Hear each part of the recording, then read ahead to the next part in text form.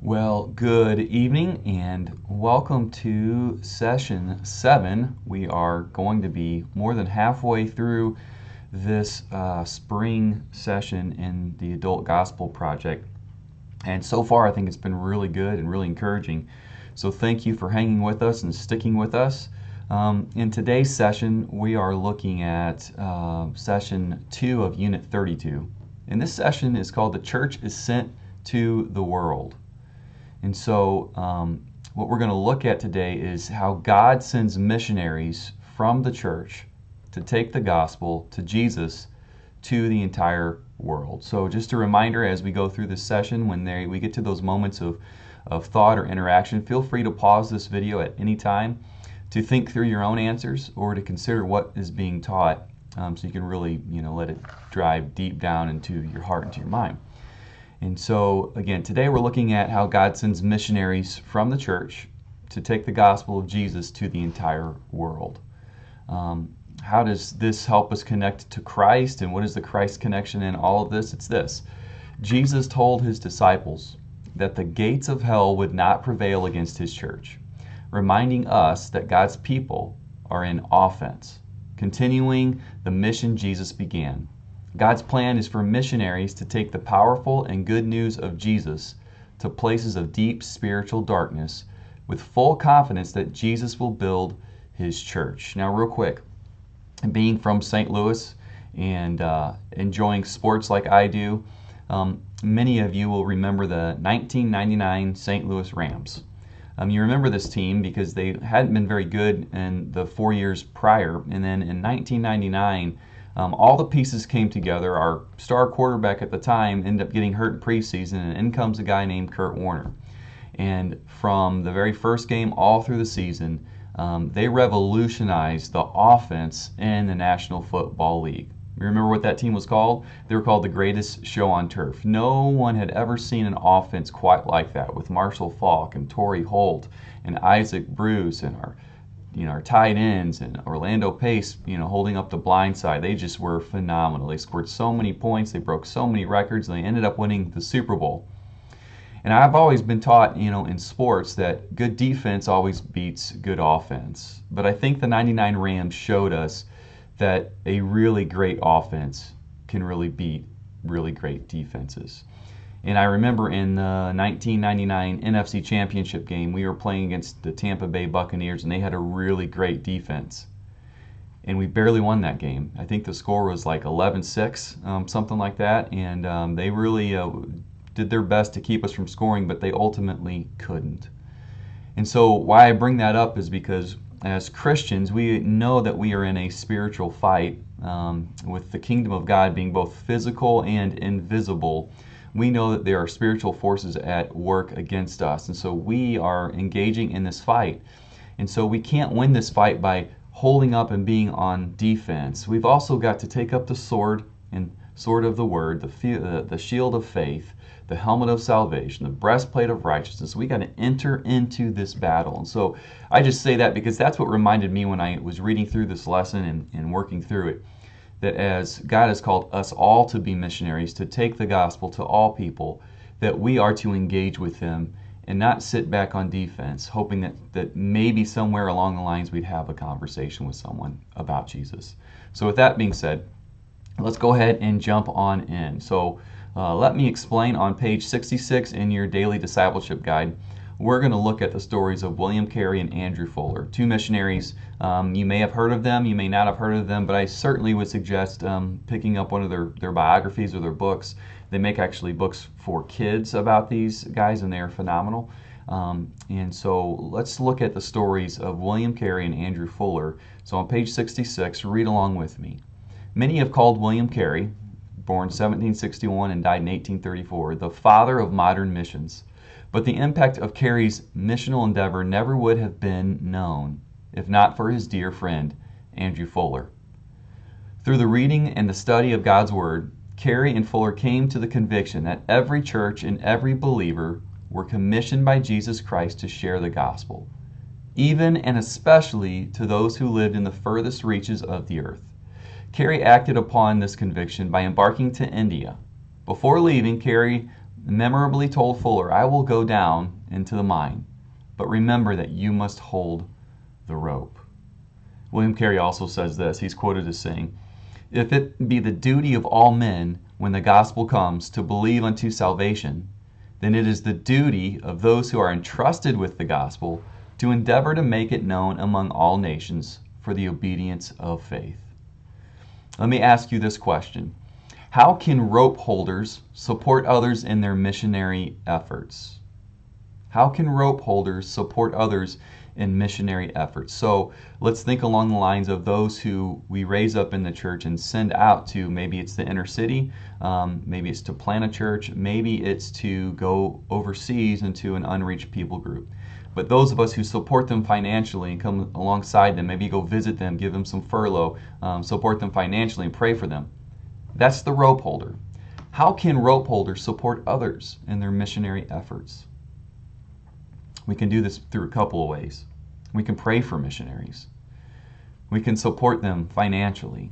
We can provide needed resources, maybe New Testament in, in their language.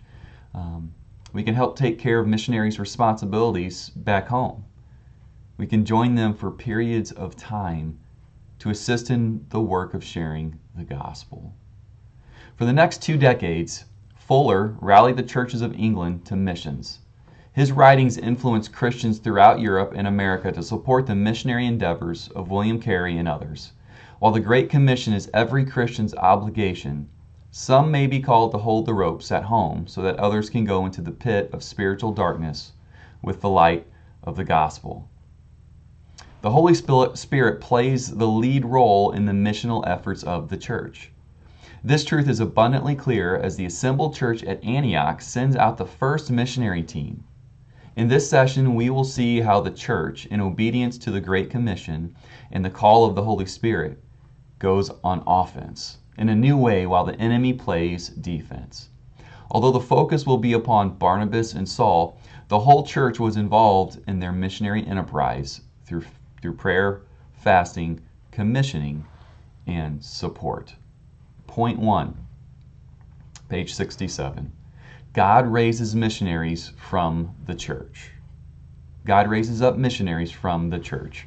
On page 67, read along with me Acts chapter 13, verses 1 through 3. Now there were in the church at Antioch prophets and teachers Barnabas, Simeon, who was called Niger, Lucius of Cyrene, Manaen, a lifelong friend of Herod the, te- the Tetrarch, and Saul. While they were worshiping the Lord and fasting, the Holy Spirit said, Set apart for me Barnabas and Saul for the work to which I have called them. Then, after fasting and prayer, they laid their hands on them and sent them off. On page 67, let's read about in this first paragraph. We want to highlight the diversity of the church in Antioch, and that's a model for us today. From chapter 13 onward, the epicenter of Christian influence and missions in the book of Acts moves from Jerusalem to Antioch. Church leadership and the membership at Antioch was diverse across ethnic and socio-economic lines. Just as the church was birthed in diversity by the Holy Spirit, the gospel of Jesus Christ is for all people of every ethnicity, socio-economic background, and educational attainment. All sinners are welcome at the cross. So if you look at these characters that are in these first three verses, we got Manaen, and he was a close friend of King Herod the regional authority, likely was situated near the top of the socio-economic ladder. And then you got Lucius and likely Simon, who were both from North Africa. And Simeon's name, commonly called Niger, probably indicates that he was African American. Barnabas was a Jew of some means, able to sell some property for the support of the church. And Saul was a Roman citizen, a well educated Jew. He also was a tent maker, a skill he would use to support his missionary endeavors. The gospel of Jesus Christ came first to the Jews, but it was also intended for the Gentiles by Old Testament prophecy. Jesus' own words and the direction of the Holy Spirit. Initially, the church had seen um, had some difficulty seeing this holy trajectory, but God helped his people along. Philip baptized an Ethiopian eunuch at the Spirit's direction in Acts chapter 8. Peter witnessed the Spirit coming upon Cornelius, a Gentile God-fearer, and his household when they believed. It's Acts chapter 10. At Antioch, most believers evangelized only Jews, but some spoke also to the Gentiles, many of whom believed in Jesus. Later, the work of the Holy Spirit in, in Antioch was confirmed by Barnabas, who was sent from the church in Jerusalem. The Holy Spirit influenced the spread of the gospel, the results of the gospel, and the unity of the gospel. The second paragraph on page 67, we're going to note that worship, fasting, and prayer should be practiced in the church as they lead to missions. Read along with me. Through persecution, the Lord brought together the church at Antioch. The hand of the Lord was with them. With their growth and the miracle of God in their diversity, it would have been easy to settle in and coast, even become complacent. But they remained true to their Lord worshiping, fasting, and praying. In the midst of their devotion, the Holy Spirit called the church to set aside two of their leaders to continue the work of spreading the gospel. This is a vital aspect of the mission of the church spreading the gospel and planting churches to the ends of the earth. Have you ever worshiped um, on your own? Have you ever fasted through a season or a time to find through prayer answers to um, spiritual things you were seeking. And there are three milestones in the New Testament, and they are worship, fasting, and prayer. Um, we can see this as we read through the New Testament. Anna, a widow who served God in the temple through fasting and prayers, was one of the first to testify of Jesus, our Redeemer. You can check that out in Luke chapter 2. The first missionaries were sent out from the church after a season of worship, prayer, and fasting. See Acts 13 for that one. And finally, the first appointment of elders in newly planted churches by Barnabas and Paul, also known as Saul, was accompanied by prayers and fasting. Acts chapter 14. This applies to us kind of like this. According to a Barna study, even though the Bible and churches encourage even even though the Bible and churches encourage fasting for religious reasons, the people most likely to engage in religious fasts are adherents of non Christian faiths. In fact, the non Christian people of faith are twice as likely as Christians to engage in fasting. To be clear, the New Testament writers focus far more on prayer than they do fasting. But given the challenges facing the church today, does it make sense to neglect any of the offensive tools God has provided His church for wise decision and making and spiritual discernment? Let's interact a little bit. Let me ask you this question.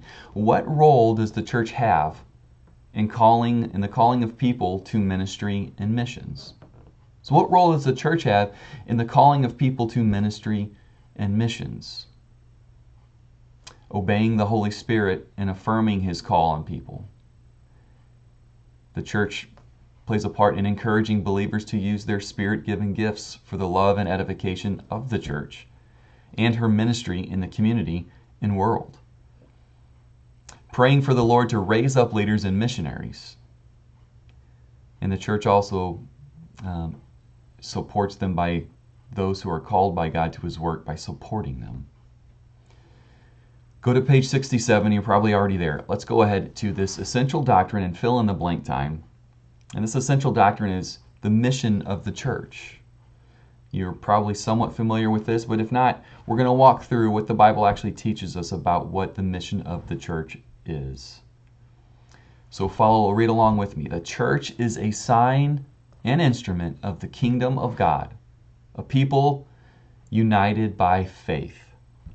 A people united by faith in the gospel announcement of the crucified and risen King Jesus. The mission of the church is to go into the world. The mission of the church is to go into the world in the power of the Spirit. In the power of the Spirit. And make disciples by proclaiming this gospel, calling people to respond in ongoing repentance and faith, and demonstrating the truth and power of the gospel by living under the lordship of Christ for the glory of God and the good of the world. Page 68, point 2. God guides missionaries to proclaim the gospel. God guides missionaries to proclaim the gospel. Let's go ahead and read um, in Acts chapter 13. Let's pick it up in verse 4. So, being sent out by the Holy Spirit, they went down to Seleucia, and from there they sailed to Cyprus. When they arrived at Salamis, they proclaimed the word of God in the synagogues of the Jews, and they had John to assist them. When they had gone through the whole island as far as Paphos, they came upon a certain magician, a Jewish false prophet named Bar Jesus. He was the proconsul, Sergius Paulus, or he was with the proconsul, Sergius Paulus, a man of intelligence, who summoned Barnabas and Saul and sought to hear the word of God. But Elymas, the magician, for that is the meaning of his name, opposed them, seeking to turn the proconsul away from the faith. The first paragraph on page 68, it helps to point out that the activity of the Spirit was acted upon with the planning and purpose. It's a misconception to think that being led by the Spirit is a matter of just showing up at a random time or place. It is true that God can and does use our happenstance and even missteps from time to time.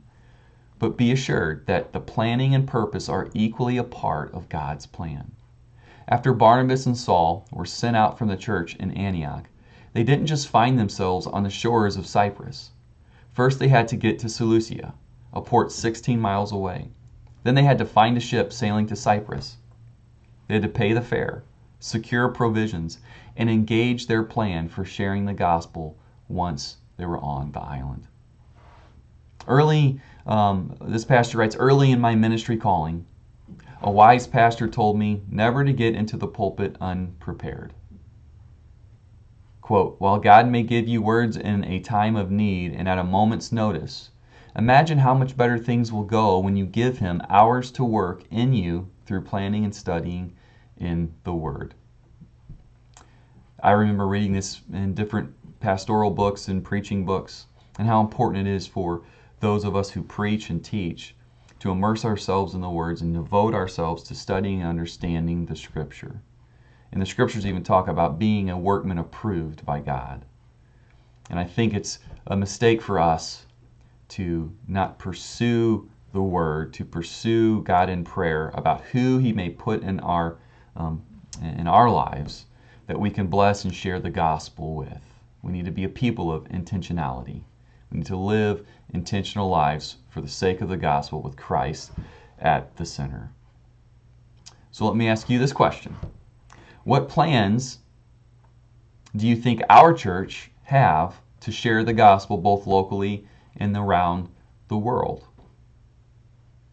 If you're not familiar with First Christian Church Union or other churches in the area, churches you've been a part of, you'll know that our church here, we have missionaries in um, the Ukraine, we have missionaries in Mexico, um, we have uh, missionaries um, in Africa, and we support them financially and through prayer. Um, they give us updates. Um, some of our people go and spend time with them throughout the year and see them. In fact, we have a Nino trip coming up to Mexico um, this fall.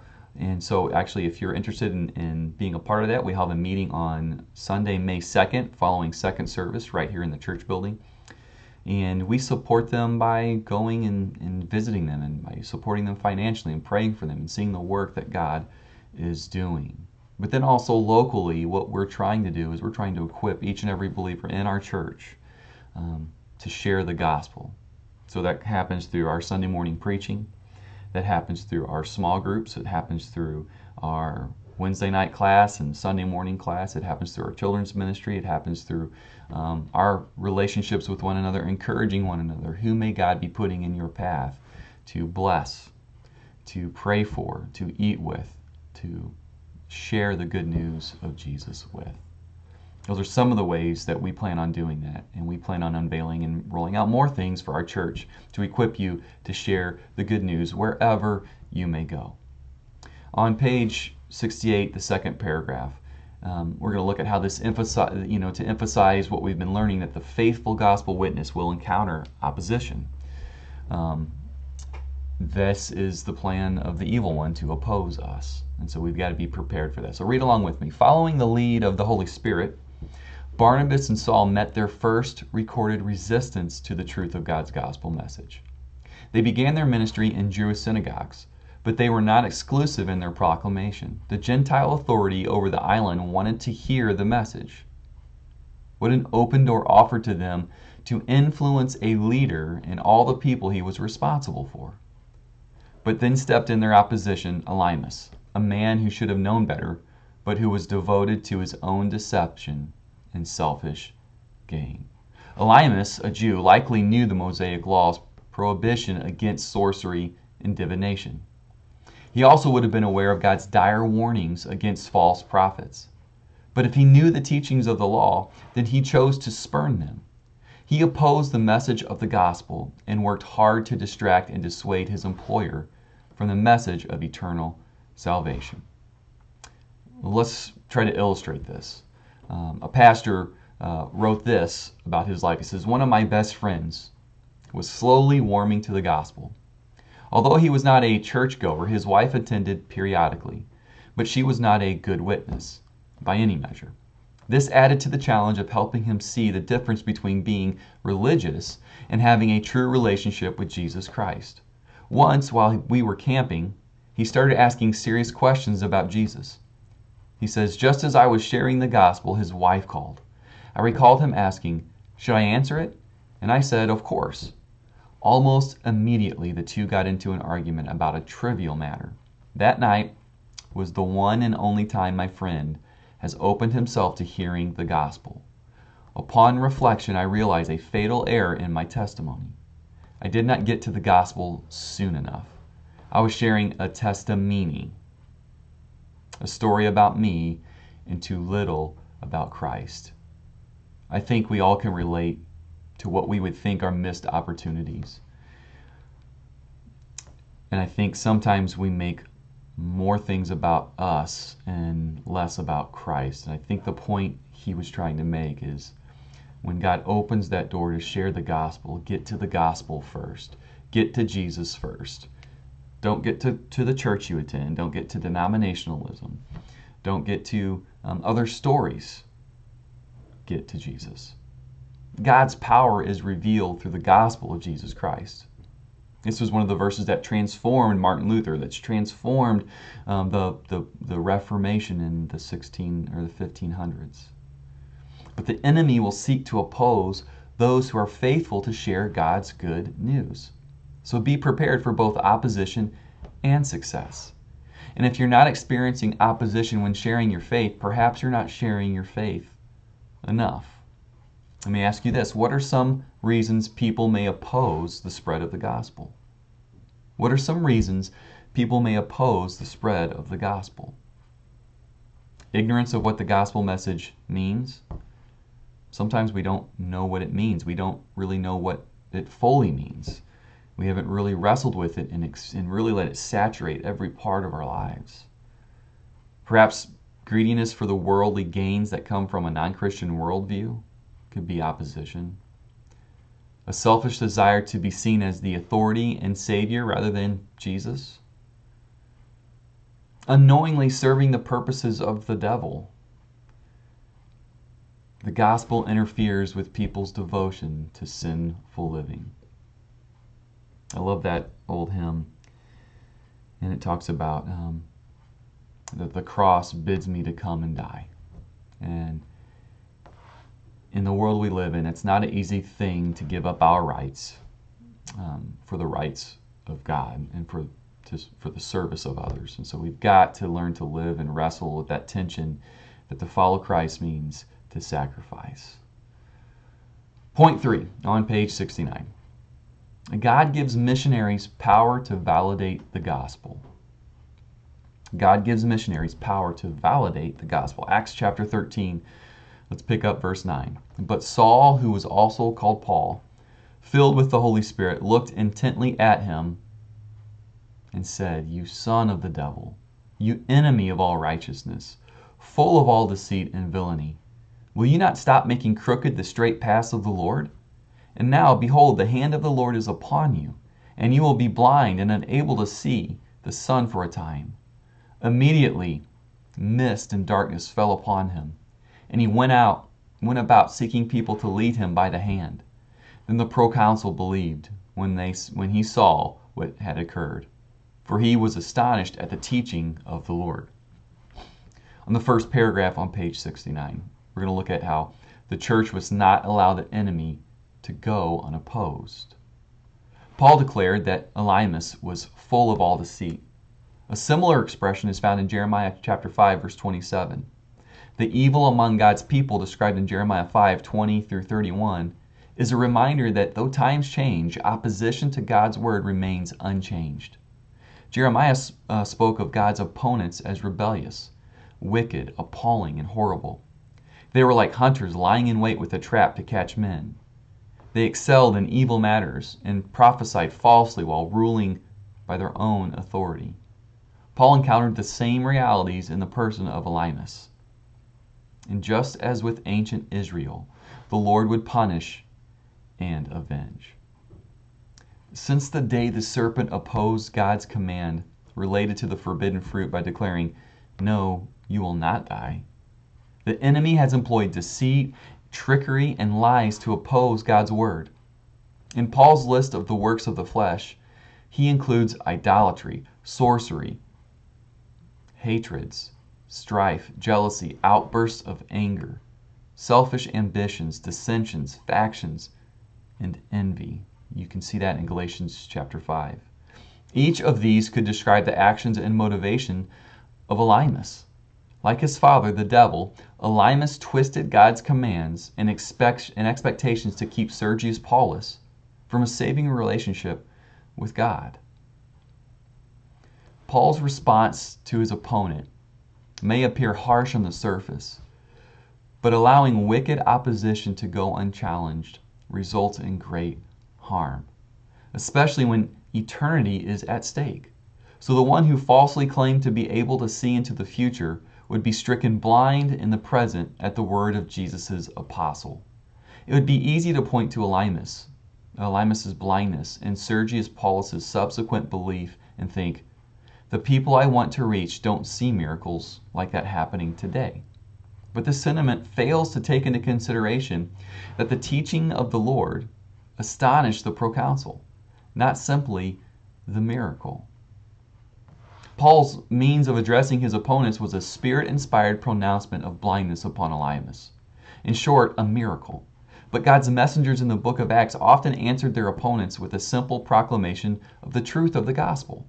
When the Sanhedrin, the leaders of the Jews, warned Peter and John not to preach in Jesus' name, the apostles declared their intent to continue on in faithfulness to Jesus. The Sanhedrin arrested the two apostles a second time and flogged them. But Peter and John rejoiced and continued preaching the gospel. Stephen was accused of blasphemy, and his defense was a sermon before he was stoned to death.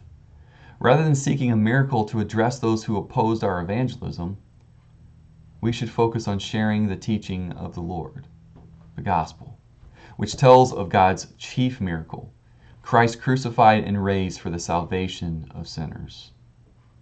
In the parable of Lazarus and the rich man, Jesus communicated this truth. If they do not hear Moses and the prophets, neither will they be convinced if someone should rise from the dead. A miracle by itself may wow those who witness it, but unless that miracle is accompanied by the shared message of God's Word, then it will do little to change the heart. Scripture makes it clear that signs and wonders can arise from both the hand of God, as in our text, and through the deception of the enemy, 2 Thessalonians 2 9. The power of God to save is not found in miracles, but in the gospel. What are some ways the gospel message is validated today? So think through your life, think through your faith, think through how you've seen God interact in this world. What are some ways that the gospel message is validated today?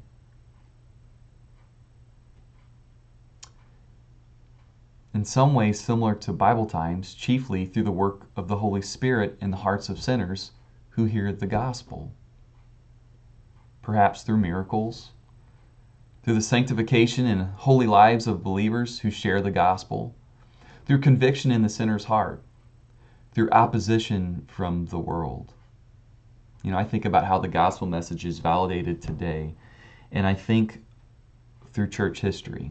And I think how God has secured his church with corrupt leaders all throughout the centuries. He's protected and preserved his word through corrupt churches and through corrupt people throughout the centuries.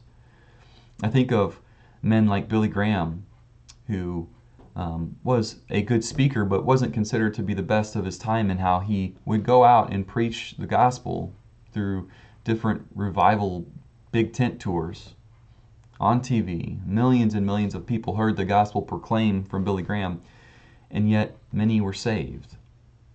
I think of how folks like R.C. Sproul can be saved by an obscure verse in Ecclesiastes chapter 3 verse 19 that talks about how men will die just like beasts.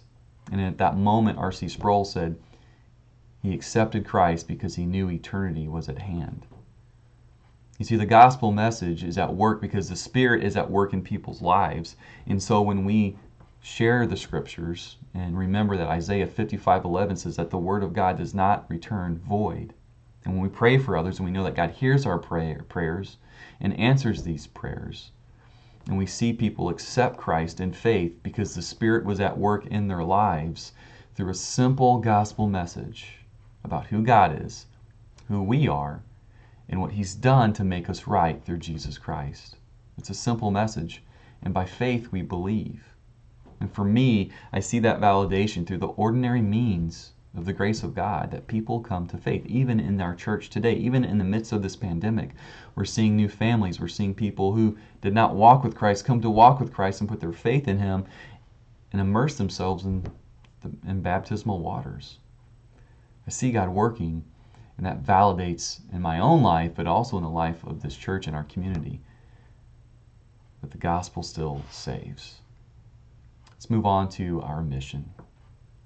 The first gospel missionary was Jesus, who came from heaven to earth to provide our salvation. As we seek to become imitators of God, we too must take on the role of a missionary and share the good news with those around us. We also must faithfully send and support those who take the gospel to communities and countries with people who have never heard the gospel. As we respond in obedience, God will guide and send us by His Holy Spirit to those who need the gospel. Be they people whom we know or total strangers. We may experience opposition and discomfort at times, but we must hang in there. For ultimately, we will see the power of God change lives as men and women joyfully respond to the teaching of the Lord. The mission of the church is to take the gospel of Jesus Christ to the entire world. Let's be about that work today. Let's be about that work this week. Let's be about that work our entire lives. Now, I want to encourage you um, as we go through this closing section. How will you respond to the truth of God's Word? How will you respond to what God's calling you to do? Because God sent Jesus to us to provide our salvation, we send, support, and consider being missionaries to those who have never heard the gospel. How will the Holy Spirit calling you to respond to His Word? Or how is the Holy Spirit calling you to respond to His Word? And how will you obey? What are some ways your group, church, can support missions both locally and globally? With whom is the Holy Spirit leading you to share the gospel, even though there may be opposition? Tony Evans, Priscilla Shirer's dad, pastor, good man, he says this There is no doubt that the, the Lord will fulfill all his sovereign purposes. The question is this Will He accomplish His, his will through your obedience, resulting in your blessing, or in spite of your rebellion, resulting in your shame? It's your choice. Let's close in prayer, and may God bless you and keep you this week. Um, may we learn to share the good news that's taken us from death and given us life. How important that is to us. Let's pray. Father, um, you sent your Son to live the lives we should have lived, um, to exchange his righteousness for our unrighteousness, to take our sin and put it upon himself.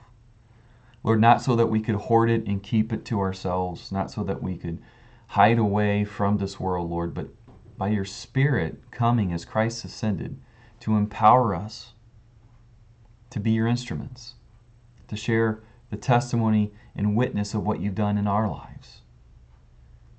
Lord, it may be those who live within the four walls of our homes. It may be to those who we work with. It may be to those who work at the stores that we visit to purchase things. Could be to those neighbors across the street. Could be praying for those who don't know you. Lord, it could be praying for those missionaries who you've called to send out to places that we can't go to. Lord, I pray that you would convict our hearts and equip us to believe that the Holy Spirit is enough to equip us to share the good news of Jesus. Help us to embrace this gospel, that our heart would grow in affection and love for you because of your love for us. May you bless us this week, and I pray this in Jesus' name. Amen. You all have a great week, and we will see you next time.